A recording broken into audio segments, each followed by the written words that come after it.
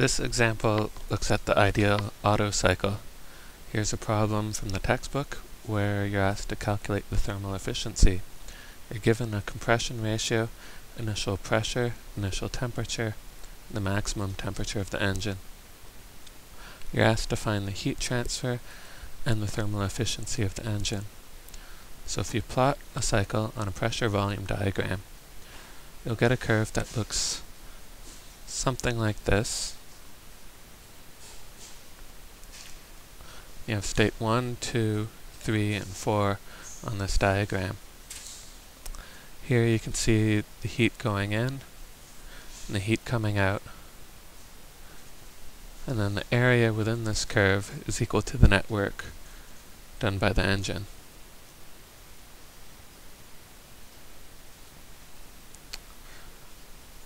So looking at the isentropic compression from state 1 to state 2,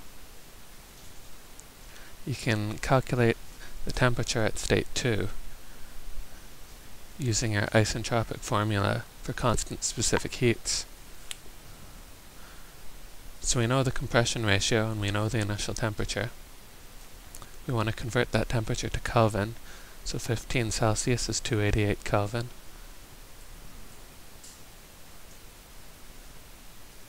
So we get temperature at state 2 is 661.7 Kelvin. From state 2 to state 3 is combustion. It's, we treat it as a constant volume heat addition. So we use our CV multiplied by the temperature difference. We know at state 3 the temperature is 1473 Kelvin, or 1200 Celsius. CV for air is 0. 718 kilojoules per kilogram. So plugging in these numbers to our calculator, we'll end up with 582.5 kilojoules per kilogram of heat addition. From 3 to 4 is the isentropic expansion. So we can use our isentropic formula for constant specific heats again. And again, we know a compression ratio.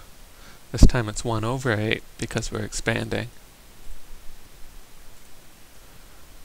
So we end up with 641.2 Kelvin at state 4. From state 4 to state 1, we treat that as a constant volume heat removal. So we can do that by multiplying CV by the temperature difference.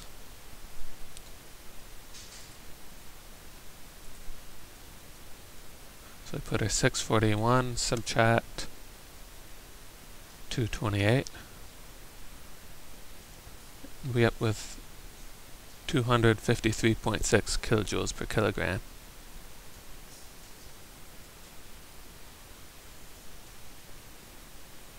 Next step, we need the net work to calculate the thermal efficiency. So we take the heat going in, subtract the heat going out, that's an energy balance on the entire system over the whole cycle. So we go back, we see our Q in value, we find our Q out value, and we want to solve the difference of them.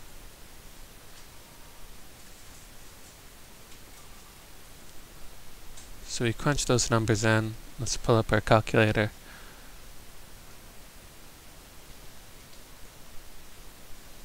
Enter them in, and we end up with 328.9. And that's kilojoules per kilogram.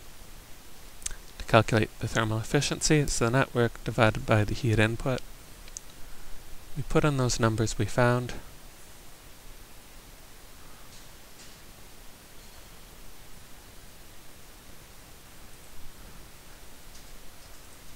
And we find that the quotient gives us 56.5%.